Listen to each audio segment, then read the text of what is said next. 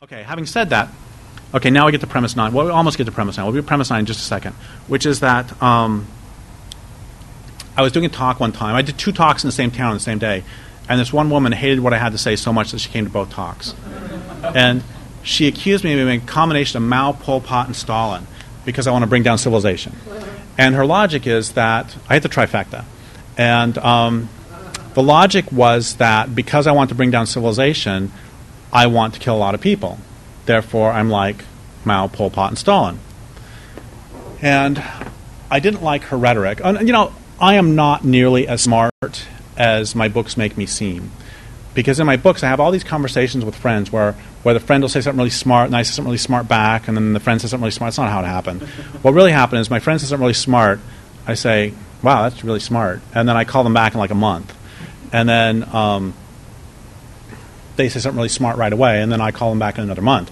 And so that night, I had no idea. It was like, she said, You're a combination of Mao, Pol Pot, and Stalin. And I said, Oh, yeah? Well, what, is, what are you then? And, um, and uh, but, but later I came up with a bunch of answers for her, which I'm now going to inflict on you. And um, the first answer is that, I mean, her, her basic point is that bringing down civilization is going to kill a lot of people. And my first answer is that if you participate in the global economy, your hands are blood red. You got blood all over your hands.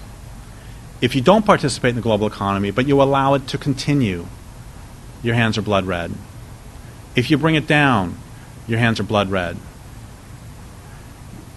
We're in a bad situation, in the middle of an exploitative situation, and doing nothing is not a moral answer. And so you can't get on a moral high horse for someone who wants to stop that situation. That's nice, Derrick, but that doesn't alter the fact that bringing down civilization is going to kill a lot of people. So my next answer is that my definition of bringing down civilization is I want to deprive the rich of their ability to steal from the poor, and I want to deprive the powerful of their ability to destroy the planet. Nobody but a capitalist or a sociopath, insofar as there's a difference, could argue with that. Which doesn't alter the fact that bringing down civilization is going to kill a lot of people, including me, by the way. Um, I have Crohn's disease, and I'm dependent for my life upon high tech medicine. So when I talk about bringing down civilization, this is not some abstract thing. I will be dead six months maximum. But I also understand that the health of the land base is more important than any human life, including my own. Well, that's nice, Derrick, but a lot of people are going to die. So I got another answer, which is bringing down civilization is not a monolithic act. It's a bazillion different acts done by a bazillion different people with a bazillion different moralities. And I mean, for example, you cannot make, and they all have different different moralities. You, you cannot make a moral case for blowing up a children's hospital. You can't do it. I don't care. Oh yeah, you can. If you're bringing freedom and democracy to a country, then you can. Um, you can't make a moral case. I don't care if you're an anarcho primitivist or if you are a capitalist or if you are anything else. Blowing up a children's hospital is an atrocity. I don't care. On the other hand, I don't think you can make an argument against taking out cell phone towers. You cannot make a moral argument against taking out cell phone towers. And that's that's and the reason cell phone towers taking them out is really important is there's a bunch of reasons. First off, they allow the asshole at the next table to yammer on when you're trying to eat. Have you noticed that? You know, I got to tell you, times have changed because I've been complaining about this for 15 years, and back when I used to complain about it, everybody in the whole audience is like they're ready to grab pitchforks. It's like, yeah, I hate it when those fuckers at the next table. And then about eight years ago, it's like, yeah, it's bad. And by now, it's like, what's your deal, man? Yeah, who gives a shit? Um, okay, that's one reason. Another reason that cell phone towers are really bad is because they put out those, um, yeah, electromagnetic dealy bobs. And then they, they go, they go like this. That's the scientific explanation. Um, they go like this, and they get in your head, and they, then they bounce back and forth, and you got to put on the aluminum beanie. And if you put it on wrong side out, then it, well, that doesn't happen to you. Um, okay, so the third reason they're really bad is because they kill between five and fifty million migratory songbirds every year. They're major killers of migratory songbirds, and anyway, you cannot make a moral case against taking out a cell phone tower. Um, That's nice, Derrick. But as you bring down civilization, a lot of people are going to die. Well, my next answer is which people are you talking about? You talking about hammerhead shark people? Talking about salmon people? You talking about monarch butterfly people? Um, if you were to ask polar bears if we should bring down civilization, they would say, uh, yeah. Um, and if you ask prairie dogs if we should bring down civilization, they would say, yep, yep, yep, yep. But they don't count right because they're just non humans, so they're not real people, right? Um,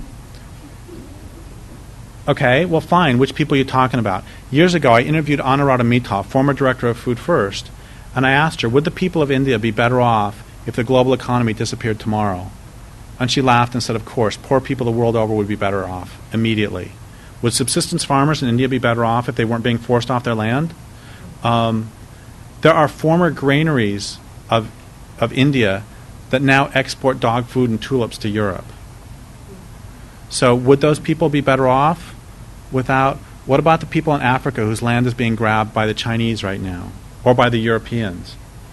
What about the people in Jamaica who are being forced into doing cash crops for export as opposed to subsistence farming? What about the people in the Xingu River who are fighting the Belo Monte Dam? You know, it's like which people you're you talking about? Um, I think we can break people into four basic groups for that. I think around the world, um, the rural poor all over the world would be better off. The people who don't have electricity right now, what do they care if the grid goes down? The people the world over, the rural poor, would be better off because nobody would be stealing their land. The rural rich would be fine. They've got guns. The urban rich, they're the problem. Fuck them. The urban poor, that's a problem. And part of the reason it's a problem is because we have been all made dependent upon the very system that's exploiting us. So I go back and forth with the urban poor as opposed would the would the urban poor be worse off if the if the whole system came down? On one hand, I think yes, because they're dependent, like Egypt is dependent upon food, importing lots of food. But on the other hand, if you want to talk about instant land reform, stop immediate military support of all these dictatorships. And which side you, I mean, honestly, if I have a choice between a thousand poor people with machetes or 50 people with guns that only have five bullets apiece, it's like if you stop the flow of weapons to the rich, you're going to get instant land reform. That's all nice, Derrick, but it doesn't alter the fact that a lot of people are going to die. Um, and this is also a really important reason thing. This whole thing about being dependent upon the system that's exploiting us. One of the reasons that we don't fight back is because if your experience is that your food comes from a grocery store and your water comes from the tap, you will defend to the death the system that brings those to you, even if it's exploitative. If, on the other hand, your food comes from a land base and your water comes from a river, you will defend to the death those because your life depends on it. One of the brilliant things that the culture has done has been to insert itself between us and the source of life. This is intentional. This is what any good abusive system does. Why there are a lot of abused women who stick around with the abusers because they've got children and they have no source of income. This is my mother in the 1950s and 60s. And this is what a system does. And it's not just abusers, it's also, there was a great line by um, this Southern pro slavery philosopher in the 1830s. He said, he was talking to his Northern abolitionist capitalist buddy, and he said that there are land ownership conditions in which it's in the capitalist's best interest to own slaves, and there are land ownership conditions in which it's in the capitalist's best interest to not own slaves. Very simple. If you have a lot of land and not many people, then people have access to land, which means they have access to food, clothing, and shelter, which means they have access to self to self sufficiency, which means the only way you can get them to work for you is at the point of a gun. On the other hand, if you have a lot of people and not much land, that means they don't have access to land, which means they don't have access to food, clothing, and shelter, which means they don't have access to self sufficiency, which means that they have to go to work for you at whatever pittance you want to pay them. This is intentional. This is, this is why indigenous peoples are consistently dispossessed. This is why the poor are dispossessed, to force them into the economy. How else are you going to get them to work for Monsanto or Apple or whatever else? And there's a great line by uh, Onondaga uh, firekeeper, um, Oren Lyons, who says there is no sovereignty without food sovereignty. Food is the basis of everything. It's like years ago, I interviewed a member of the Tupac Amaristas, rebel group in Peru, the MRTA, and I said, What do you want for the people of Peru? And he said, We want to be able to grow and distribute our own food. We merely need to be allowed to do so. That's the entire struggle right there. That's it. That's everything. And that's all nice, Derrick, but a lot of people are going to die. So my next answer is I guarantee that as civilization collapses, 100% of the misery will be caused by those whose lifestyles are causing this misery attempting to maintain their lifestyles. The poor are being impoverished because it's like, what, 70% of famines historically have happened not. The countries that experience famines are generally still net exporters of food. The people in the Irish potato famine, Ireland was exporting grain to England. They're not dying of famine, they're not dying of starvation, they're dying of colonialism. And it's the same with water. We always hear all the time, you know, oh, you know, the world's running out of water, the world's running out of water. Bullshit. The world's not running out of water. Fucking bullshit. Goddamn George Bush, Barack Obama fucking bullshit. It's the world's not running out of water. What's happening is the water's being stolen. 90% of the water being used is used for agriculture and industry. People say, oh my God, take shorter showers. You got to do all this personal stuff to change everything take shorter showers, all it's going to do is ruin your social life. Um, the same amount of water is used by municipal human beings as is used for municipal golf courses. So if you want to save water, you want to take a shorter shower or you want to take out a golf course? I mean, which, which, which is more useful? And one of the things they've done is they've convinced us that we are consumers and not citizens and not human animals who need habitat in the 1980s was the first time that um, corporate newspapers called human beings consumers more often than citizens. And this is really crucial because if they can get you to identify as a consumer, your choices of resistance are buy or not buy. If, on the other hand, you're a citizen, your choices of resistance are buy, not buy, organize, boycott, um, when a government becomes destructive of life, liberty, and the pursuit of happiness, it is the right of the people to alter or abolish it. You can revolt.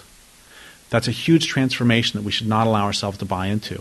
But it goes even further than that because if you go back a few thousand years, there was another transformation where we went from being human animals who need community and habitat to being citizens of a state. And that transformation involves many things, including one of the classic things in sociology is that if you're a citizen of a state, you grant the state a monopoly on violence. we forget that we are animals who need habitat and whose families are being poisoned, and we forget that we are animals with teeth and claws. And that's all nice, Derrick, but um, this is all really, um, that's great, wonderful, but um, a lot of people are going to die. So I have another answer, which is that um,